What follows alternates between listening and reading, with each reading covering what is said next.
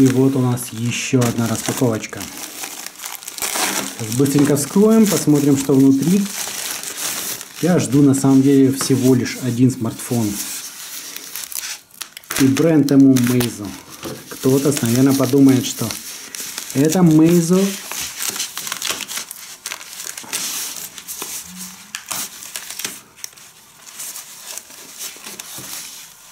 Note 3.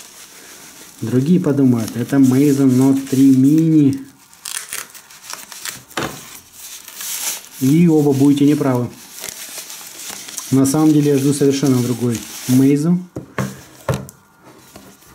Это первый Meizu Metal. Почему не M3 или M3 Note? Во-первых, здесь процессор X10, а не P10. Магазин TomTop. Вот. А этот процессор гораздо мощнее, чем P10. То есть здесь реально мощность очень-очень высокая. Ничего не показал, друзья, но извиняюсь. Так, опять бумажка какая-то. Сейчас я посмотрю, может это что-то конфиденциальное. Да нет, пишут, в принципе, характеристики, что он на UNOS, 2 гигабайта оперативки 16 внутри, Helio X10, 8-ядерный, получается 2 ГГц, Flame 5, Full HD экран, что еще, X10 процессор мы и так поняли, две камеры на 13,5 мегапикселей, 4G есть, 3G, 2G, есть сканер отпечатка пальцев, ну и все. А зачем нам это написали, я не знаю. Но, как бы, по крайней мере, зачитал характеристики. Ай-яй-яй. Вот стрелочка, видите, типа делай это снизу. Что у нас здесь написано? Все по-китайски, друзья, ничего особенного мы не узнаем. Оба. Ну, подход Meizu это уровень Apple. Кабель USB, micro-USB, стандартный классический кабель, зарядник от Meizu, так, ну тут написано очень мелко, поэтому я лучше прочитаю. 5 вольт, 1,5 ампера. Вот такая зарядочка. Нужен переходник. Так, скрепочка. Открываем это все. Такое ощущение, что они делают специально, чтобы это рвали. Что оно не открывается никогда. Так, бумажка от Meizu и еще одна бумажка от Meizu две бумажки и скрепка. Скрепку забираем. Скрепка здесь на скотче. Не знаю, как проще его. Сейчас с этой стороны. О, с этой стороны забрал. Вот такая вот скрепочка. На моем Meizu MX4 Pro никаких скрепочек нет. Задняя крышка снимается. Ну и, собственно, сравнивать буду с MX4 Pro. Вот такой вот аппарат. Проверю, у него работает ли 4G. Почему именно этот аппарат, друзья? Ну вот я... А, наверное, многие этого ждут. Я смотрел сравнение Metal и сравнение с M3 Note. И по многим характеристикам Metal мне показался гораздо интересней. Тем более он сейчас подешевел. По поводу русского языка ничего сказать не могу, друзья. Это все буду тестировать, попробую перепрошить. А сейчас и Meizu, Xiaomi, все это надо перепрошивать, все это надо как-то там менять а, идентификатор, как, например, вот на мой MX4 Pro.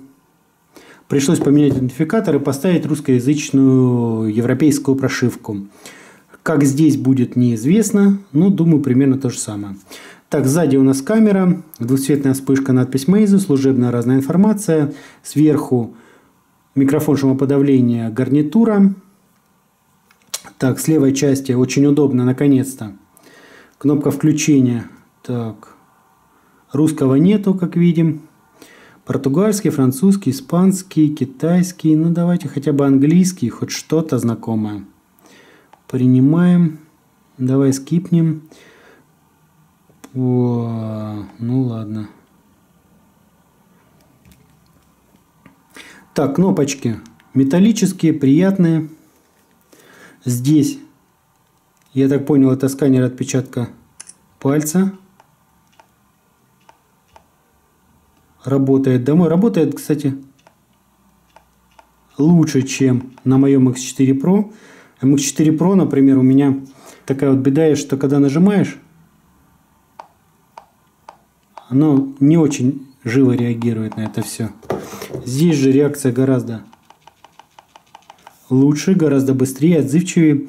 Ну и сам интерфейс, конечно, летает здорово. Так, на нижней части у нас еще один микрофон, разъем micro-USB, выход под динамик. На передней части у нас разговорный динамик, датчики и фронтальная камера.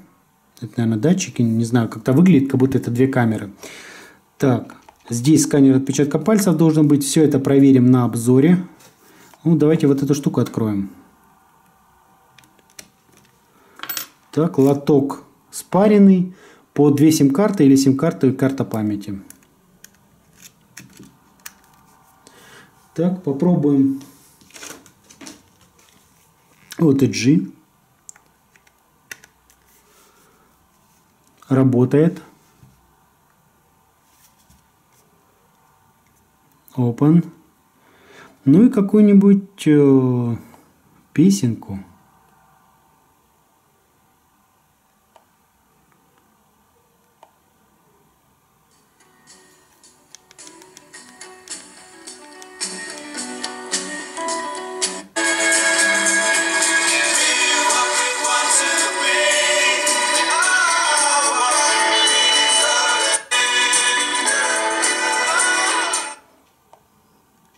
Очень мне нравится, как отзывчиво он двигается. Чуть-чуть прикасаешься и все отрабатывает.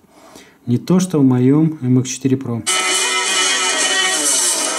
Громкий, очень громкий динамик. Динамику вопросов вообще никаких нет. Давайте посмотрим на картинки. Ну, я думаю, с углами обзора здесь никаких проблем не будет.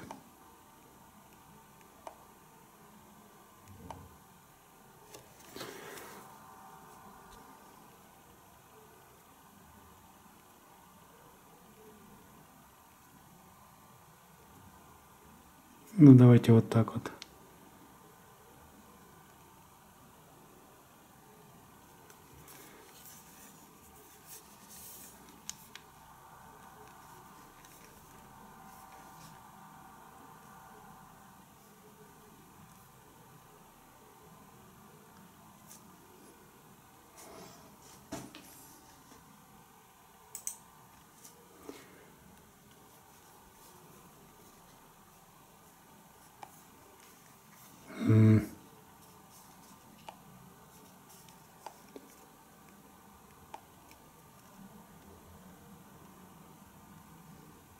Ну, неважно, можно и на этой картинке.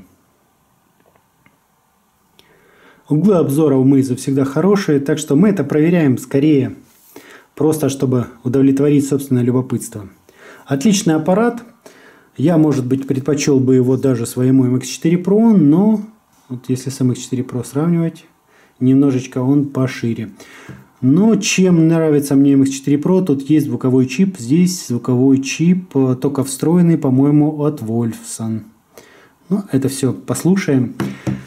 В обзоре я напишу, насколько нравится, не нравится мне звук, как он в сравнении с MX4 Pro. Очень многим людям нравится тематика звука в моих обзорах, поэтому звуку будем уделять побольше внимания, особенно если это аппараты Meizu, у которых э, со звуком всегда было все просто-просто мега шикарно.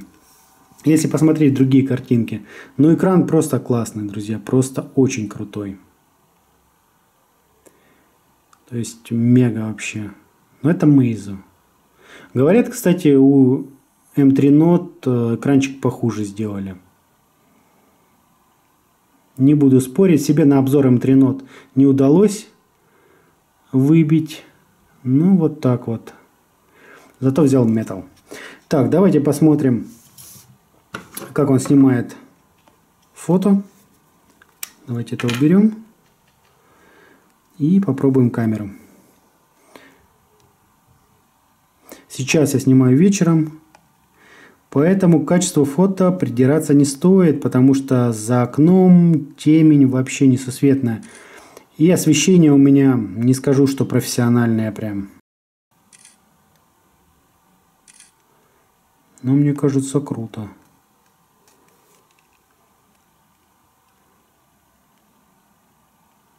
Друзья, для вечерней съемки, вау.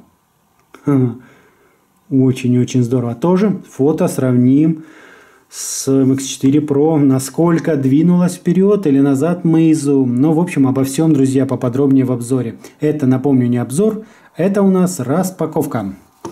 Поэтому, если есть какие-то комментарии, если что-то надо отдельно проверить, пишем вниз.